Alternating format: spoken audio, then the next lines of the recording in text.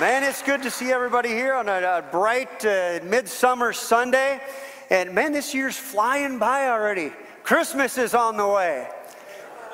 Maybe that, that may get a little ahead of ourselves. But man, I, you know, I hope that you're, uh, you're getting out and about this year. We missed so much last year, so even though, I, you know, it's no fun necessary to see a Sunday when somebody says, Pastor Carey, I'm going to be gone, and, and we'll miss you, but uh, I'm glad to see people getting out and about and seeing the world and seeing family and, and reconnecting and having a good time. But when you get away and get that, that refreshment, uh, come back reinvigorated, be ready to plug in and serve because God's doing some great things here, and we want to make sure that every one of you uh, are a part of that. Uh, now, if you see me gimping around up here, I'll just sit right up front because uh, uh, before the first service, I was rushing to do something and I tripped down those stairs and took a tumble, and my ankle was like a softball. I spent between the services there with two popsicles uh, on my ankle back there, uh, trying to get it to go down. So I can still move pretty well. I just can't stop, or it's I think it's going to lock up on me. But anyway, that's a story for another day. Take your Bibles and turn to 1 Peter chapter 2.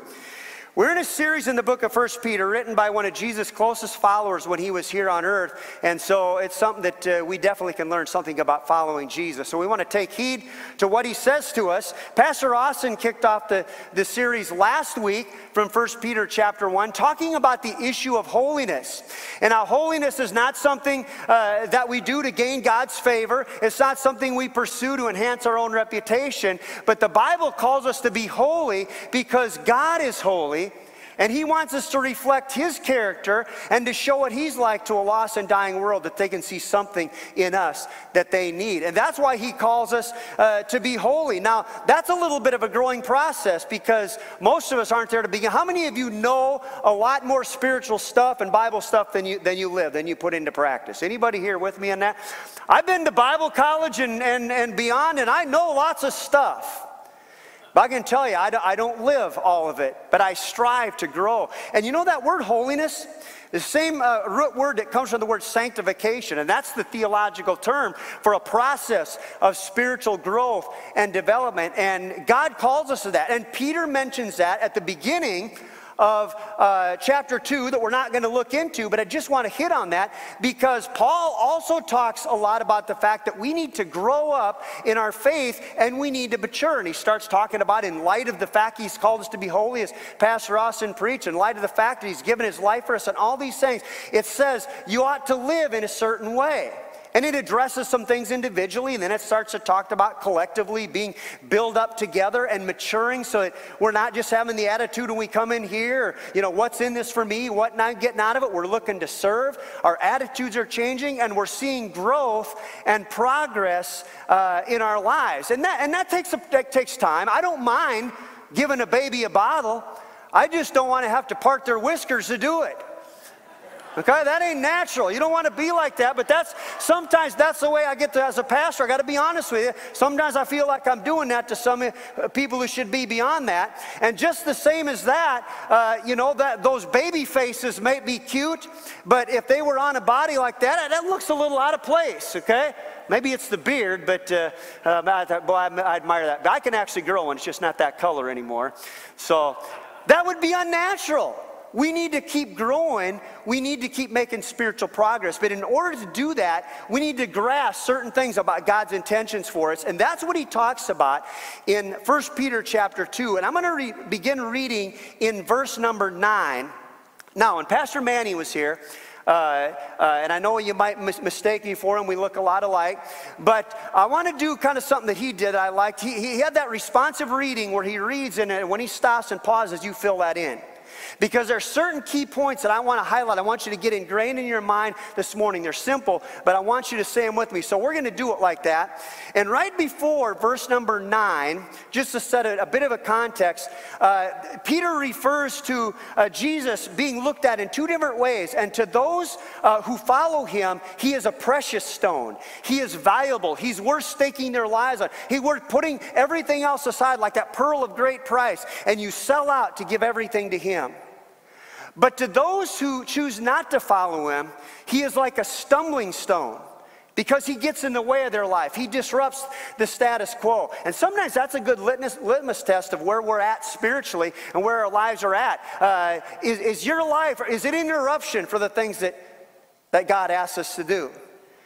And there were people like that, and they were going to miss out with God. But it starts in verse number nine, and it says this But you are not like that, for you are a people, you are royal priests, a nation, God's very own possession.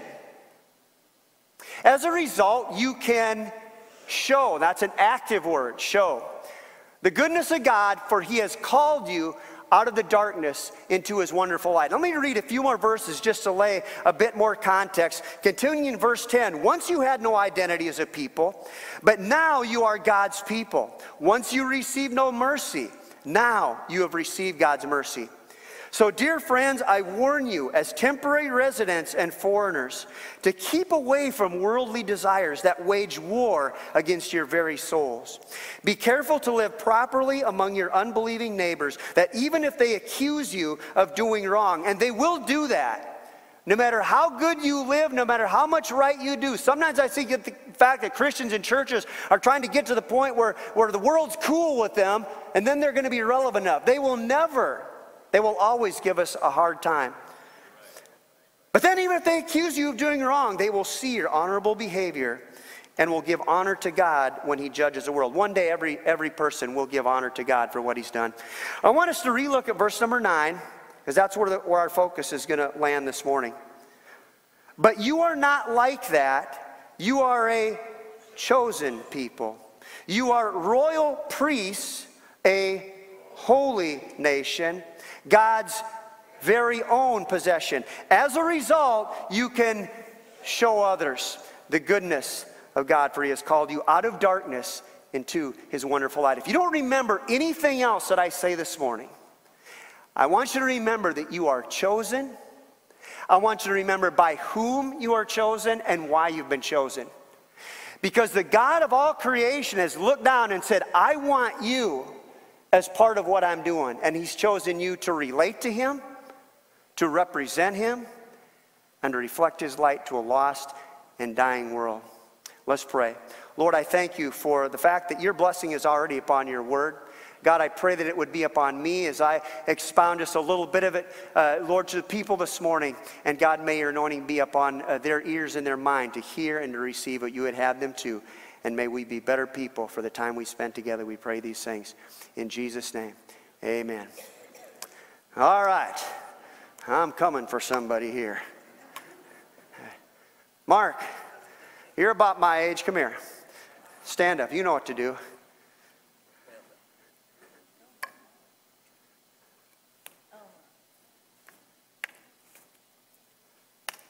All right, I got first pick. That was one of the ways that uh, little routines that we used for the terrible time honored uh, uh, routine of picking teams. How many remember that in gym class, maybe in the sandlot, pick up games of ball, and two captains, and then they would start to pick teams, and one would say, uh, I'll take Craig, I'll take Jeff, I'll take Brett. I'll take Mike. And it was a go on. You'd, you'd try to kind of act like it didn't really matter and you'd be kind of shooting the breeze of the people next to you. But honestly, you were relieved when you got picked. Because if you had any heart at all, you had to feel for the people who, for whatever reason, maybe they just weren't good at that sport or, or whatever the thing was you were picking for, and they were down at the end of the line. And I remember sometimes, you know, as, as, they went along, it got a little bit slower because they were not only deciding who they wanted, they were deciding who they didn't want. And I remember times when it would come down to like the third to the last person, and the captain would say, uh, uh, I'll take Marlon. And then we'd turn to the other captain and say, You can take the last two. He didn't even want one of them. I mean, this, this was a terrible rigid. In this day of cultural sensitivity, that ought to be outlawed. Do they even, I don't even know if they do that kind of thing anymore. Because some people have been left with a lasting impression, maybe not something as frivolous as that, but maybe so, but maybe a lot more significant times when they weren't chosen. And here's the irony in a culture that is so success driven and success oriented, more people defend, tend to define themselves not by their successes, but by the failures. And not even just their own, but times when they felt rejected and neglected and disparaged and disregarded and overlooked or simply not chosen. Not chosen for the, the team, not chosen for the club, not chosen for the award, the, the job promotion, not picked as a friend or a spouse, not given the opportunity that you may have worked hard for and see somebody else get some that never came your way. And to this day, that still affects the perception you have of yourself. It affects your attitude toward others and even your outlook in general on life because you're still looking at through that lens of rejection. But you know who can relate to ultimate rejection? God's Son, through whom the world was created, was rejected by his own creation. In fact, I want to remind you that he was rejected because of what he did for you and me. And yet he looked down through time and space and all eternity and said, I want you. I choose you. Before you ever lined up, before you ever realized you were getting into, the game, the Bible says, while we were yet sinners, separated from Him, isolated from Him, alienated, He gave His life for us because He wants you on his team.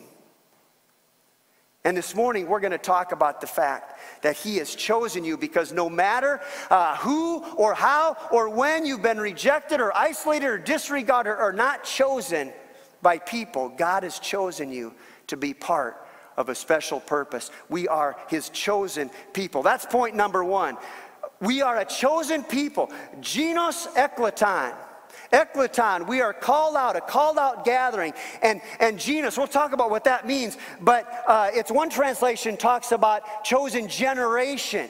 Some people think the better translation is that we are an elect race. Now, I don't necessarily like that as well, especially the implications that that carries today because race has become a dividing line for so many people. But with God's kingdom, we know that it's upside down from the world's ways. And God is calling for himself a people from all nationalities, from all races, from all walks of life, and making them a chosen people based on their faith in him. But here's what I really like about that word, and here's how I like to look at it.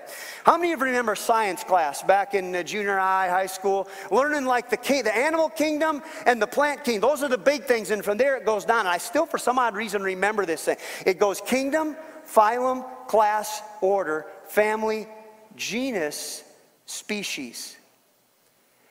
That term not only implies that we are a people, not just implies a race, it literally is talking about a new kind of creation.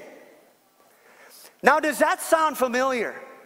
If anyone is in Christ, he is a new creation. The old is gone, the new has come and we are born again in that sense spiritually, not born of the, of the flesh, but born of the spirit. And that's a powerful term when we think uh, that we are born again. But you know, the Bible uses another term to describe how we come into God's family. It may not seem as spiritual or as deep as being born again. It talks about it a lot when it, when it refers to Gentiles, those outside of the Jews, where God's chosen people is referred to throughout Scripture. But he talks about being adopted into his family. Now, when I was growing up, for some reason, adoption, I don't know, carried a little bit of a stigma. Uh, kids, if they knew it, didn't always want to tell that they were adopted. Parents would kind of wonder, when do I uh, tell my kids that they're adopted? And I don't just, some kind of, as if we thought that maybe it was not quite a first class part of the family. But there's something special uh, uh, of referring to adoption because there is an aspect that you are chosen. Now, how many of you know when you have kids the old fashioned way, you pretty much you get what, what you got?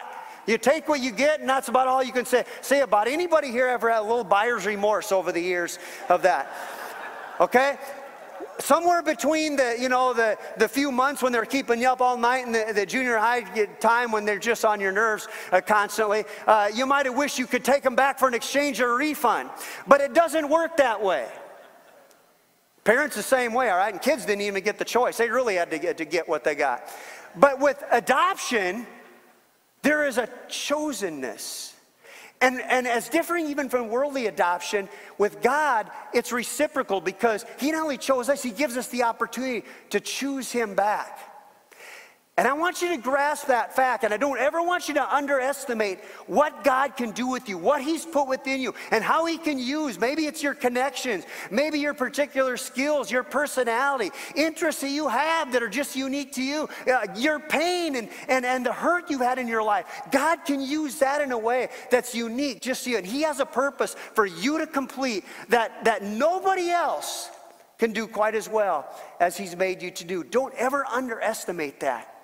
Don't sell yourself short and feel, well, God needs a certain type of people uh, that He can use. He doesn't. Look throughout Scripture. He chose a deceiver uh, like Jacob uh, to be renamed Israel. Uh, he chose to be uh, the greatest king, a ruddy youth named David. He chose a stutterer who had trouble communicating uh, named Moses to communicate to God's people and give us a good chunk of the word that we have to this day.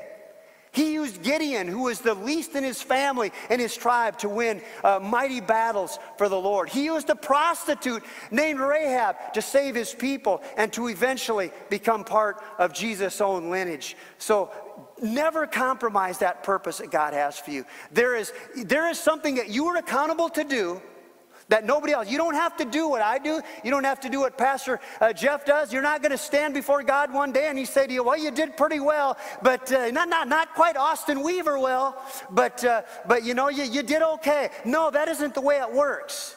You fulfill that purpose that he created you for and he's going to look at you and say, well done, good and faithful servant.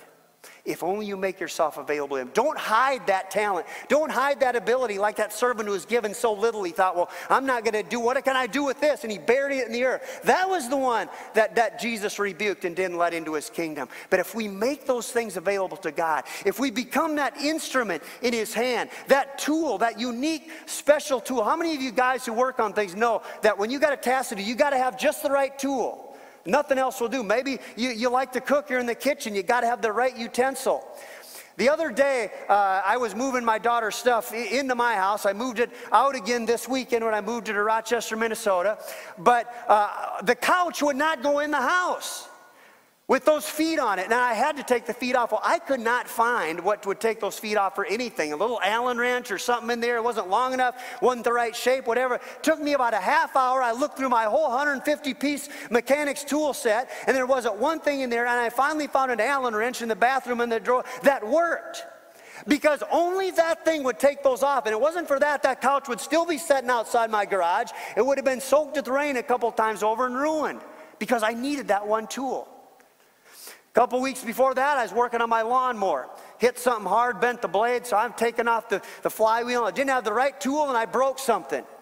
And so it sat there, and I'm looking at lawnmowers and about ready to drop four or five hundred dollars for a new one. I thought, I'm gonna try one more time. So I finally looked, got just the right socket to take off that thing, and I discovered that what had happened is it sheared off this little $2 piece. I go in the hardware store and get four of them for $5 and fixed my lawnmower. It's worked three or four times since and it's still going strong.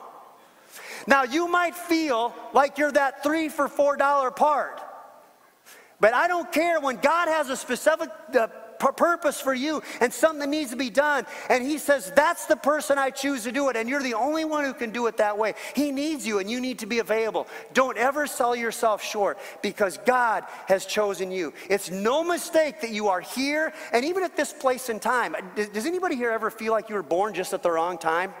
Maybe your personality, the your interest. No, that isn't the way it is. God has placed you here and now in this body, at your workplace, within your family unit, because you are the right person for the job. You are the right tool for the task. And God wants to use you if you'll just make yourself available. Because this generation of Christians, is responsible for, this generation uh, of people in the world. That's where the, the translation generation comes in. I like it because a generation implies something for a specific place and time. God has a specific place and time for you, and it's right here and now. And He wants you to be available to Him to represent and to reach Him for others. And that brings me to the second part of this the fact that we are royal priests or a royal priesthood.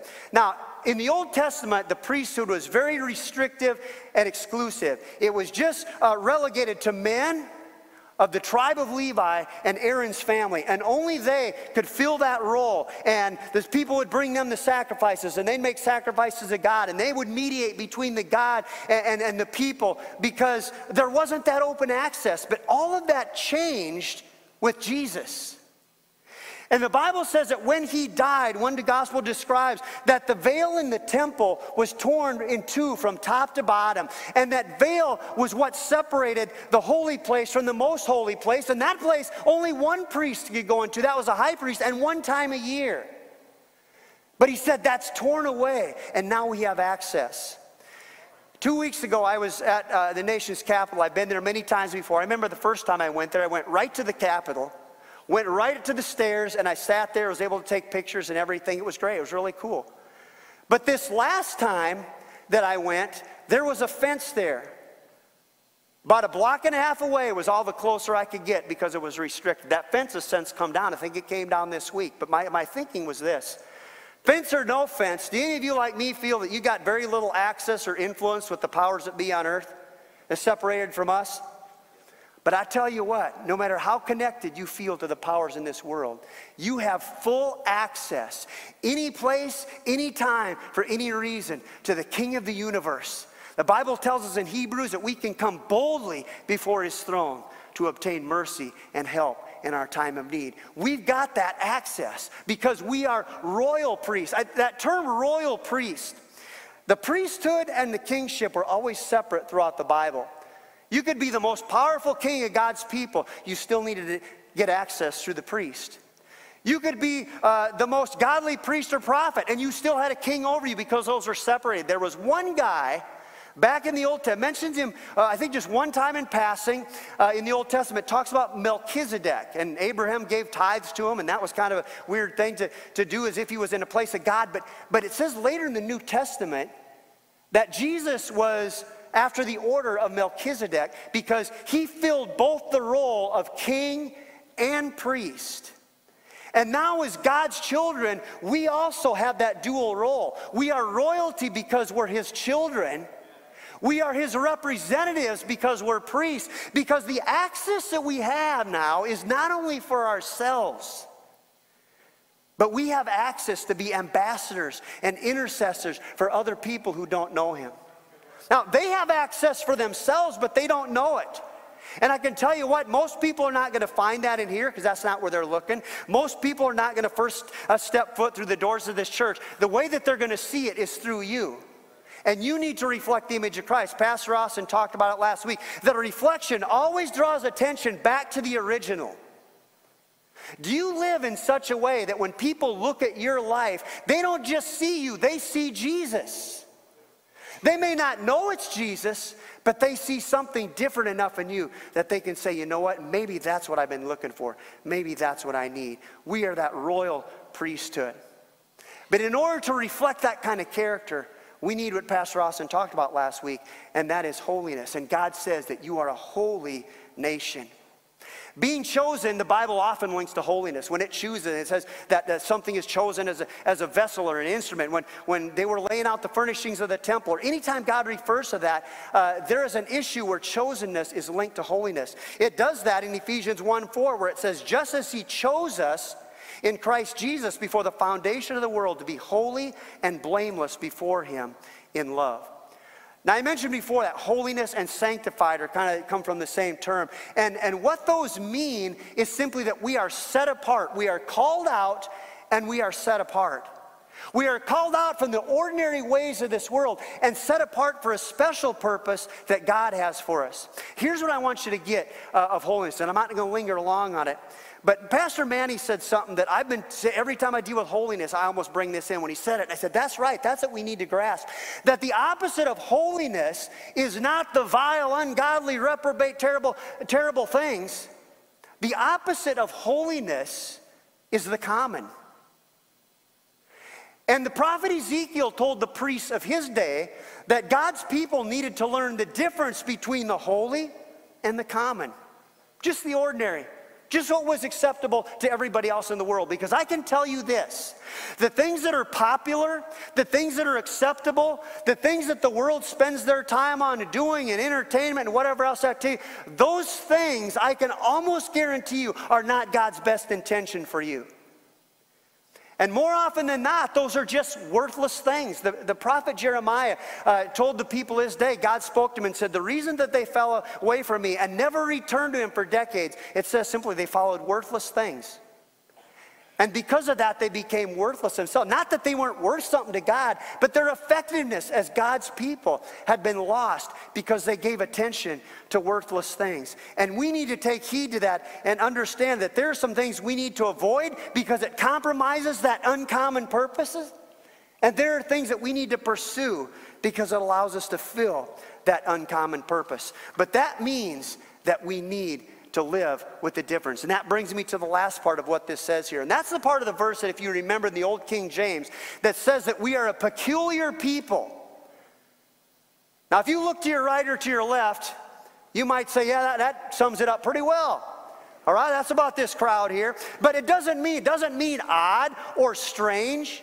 It simply means that we are different enough. We are distinct. We live in such a way that it's as distinct as light from darkness because that's what we're to be. We're to be children of light. The translation we have says that we are God's very own possession. And those words there literally mean to be over and above the ordinary. How many, how many of you know if something belongs to God, the stuff in His house is a little more special than anywhere else? It's, it's uncommon. It's not ordinary because we don't belong to the world. We are God's very own possession. We are identified with His Son Jesus. We are in His care and we are reserved for His purpose. And what is that purpose? What it sums up the end of that verse, it says that we should proclaim or show or show forth the praises of him who has called us out of darkness into his glorious light. You know, if your translation just says to proclaim the pra- praises, that's, that's not quite enough. It doesn't get the whole picture because the word is to show or to show forth.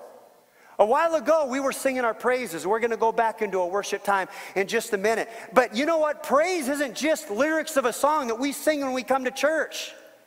That's not where the, what the Bible talks about the sacrifice of praise. That shouldn't be any big sacrifice. It's not easy all the time, but the place where the real sacrifice takes place is when we go out of these doors and we live in such a way that does what those songs sing. And we're simply declaring of our lives, God, we do exalt you. We do honor you. We make you great in the way that we live because people can see us. We need to worship and show forth the praises of Him who called us out of darkness into his glorious light. You know, that term says something very unique. The only place in the New Testament where this word used for show uh, happens, and it literally means this it means to proclaim to those without what has happened within. In other words, it needs to show to people outside of this what has taken place inside of us. People should be able to see what Jesus has done in us. The book of Esther talks about um, a guy named Haman wanted to do away with God's people. And the way he made his case is he came to the king and said, Oh, king, there's a people scattered and throughout all the provinces of your kingdom whose ways and customs are different from all other people. And it's not in your best interest to tolerate them.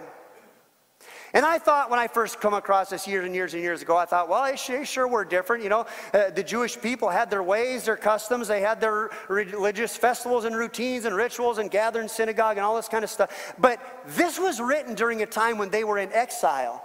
They had been taken captive, and all those things were stripped away. And yet, something was still distinct enough in their life to where a person said, There is something really different here. I don't know if we should put up with that. And I want to challenge you to think, think about this. Strip away all the things that we rely on for our, our Christian reputation testimony. Take away our ability to gather in this place together. We saw how fragile that could be. Take away what you know of God's word, except what you've hidden up here. Take away uh, your ability to, you know, so I believe I, I hang out with these Christian people, whatever. Strip all that away. Is there still something different enough in your life, in your character, and your conduct that we people would look at you and say there's something different about them? Because if that's not the case, then why would anyone in the world see anything that they need in us? Why would they see any need at all to change? God has called us out. God has not called us to see how close to the edge that we can get in our behavior, because that's the one thing. Verse number 11 went on to say, Don't do these things that war against your soul, these common, ordinary things. There is warfare going on in the heavenly, supernatural realm all around us that we need to be wise to. But you know what? The biggest battle, the most subtle and destructive and deceptive battle is a lot of times what goes on in us because we compromise with the ordinary. We compromise with questionable things. We fill our time just with common stuff. And God has called us out for a higher purpose. And He wants you to be part of that purpose.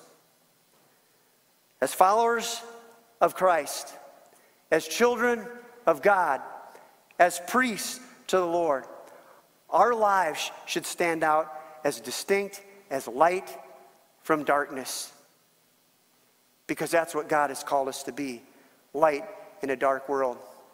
The rest of the chapter simply goes on to talk about some of the ways we do that. Talks about living such good lives uh, among a, a godly people that they look at you and able to see the difference that Jesus makes. You know, the world talks about compassion and serving and do all this, but if Christians are actually the ones out there doing it, maybe they'll rethink all the labels they put on us. It talks about showing kindness and respect to everybody, even including the authorities you don't agree with because we'll stand out doing that. It even talks about uh, the relationship of slaves and masters, not to condone that in any way, but to say in this world you're going to encounter injustice. You're going to be out of control. There's going to be a lot of things that are oppressive to you, especially as my people. But even in the midst of the worst situations, your light uh, can show through you.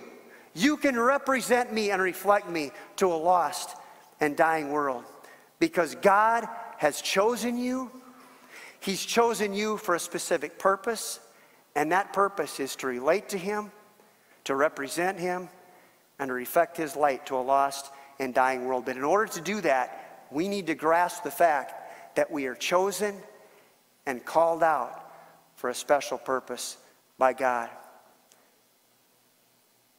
Now, most of you here have responded to that call. You're children of light. You're following Him. But to be quite honest, you're still kind of living in the shadows. You're not fully reflecting His light because maybe it's the issue of holiness. Not just the do's and don'ts, but the fact that you need to have a character more like Jesus. You need to take on that priestly role so you step in and you begin to represent and reflect His light to a lost and dying world. And today, you need to step out and say, I'm going to make that change. I want when people see me, I want them to see the original. Whether they know it or not, I want them to see something that different in my life. There are others of you here today who are still living in the shadows because of something that's happened to you in the past, maybe on multiple times, but you're still living with that perception that you've been shortchanged because of times that you weren't chosen, because of times when you were disregarded and denied and overlooked. And today you need to grasp the fact that you are a child of God. You are a child of the King, and He has a special purpose for you. And you too are meant to reflect His light to the world around you. And today you need to step out and make a declaration. Say, you know what? I'm not letting any of this stuff stop me anymore. I don't care what's happened to you or, or what you've done or what's been done to you. God is calling you out for that special purpose because He wants you to reflect that light. And in just a moment, you're going to come and you're going to stand here and make that declaration as you worship. Worship team, would you come? And I want to say one more thing to those here today who understand, and maybe you knew this already, maybe this morning something was said that says, you know, I, I am. God has chosen me. I can't believe that, but He has. But you have not made the decision to choose Him. And today you can, you can acknowledge, I've gone my own way. That's what sin is. And that separates us from God, prevents us from that relationship. And you say, you know what? I'm ready to acknowledge that. Confess my sin to Him I believe Jesus is the Son of God who died in my place to pay the price for that sin, rose from the dead with the power and authority to give me a new life. And I receive that, that life today. And I want to become a child of God. And with every other head bowed, I just want to look around you to catch my eye. If that's you this morning, would you look up? I want to know who I'm praying for. I'm not going to, I'm not to single you out or embarrass you, but but God wants you to take that bold stand and say, I, I identify with Christ because he gave his life for me. If you heard, I'm going to look across from, from right to left. And, and if, you if that's you, lift your head and just catch mine. I want to pray for you this morning. Okay. Yeah, I see, I see a handful of people looking. I'm going to pray for you right now. Lord Jesus, I thank you for these who responded, who are now, you've chosen them before the creation of the world. You knew them. You've got a purpose for them, and today they're responding to that. They're jumping uh, on, on your ship. Lord, you've destined that those who follow you are going to be in heaven one day with you. But Lord, it's our choice if we're going to jump on and, and, and get on that ship and trust our lives to you. And today they're doing that. God, you're making them your child. You are setting them apart for your purpose. And Lord, I pray right now that they will grasp that purpose. They will understand that they are forgiven, that they are a child of God. And Lord, they're going to start looking to your word for the purpose to find out who you are, to become more like you, and to follow your ways. They're going to tie into a church like this, Lord, where they can begin to plug in and get involved and begin to grow alongside others who are serving you. And I thank you for that. I pray it in Jesus' name. I want you to stand right now. I'm going to ask you this, and I don't want you to hesitate because this is an opportunity. An altar represents a place of encounter with God, and we're making a declaration today. And if you fit one of those things today and said, you know what, I need to take a stand and step into that priestly role, and I need to start reflecting Christ in a greater way so people don't just see me, they see Jesus. I'm going to ask you to step out for where you are and make that declaration say, I'm doing that today.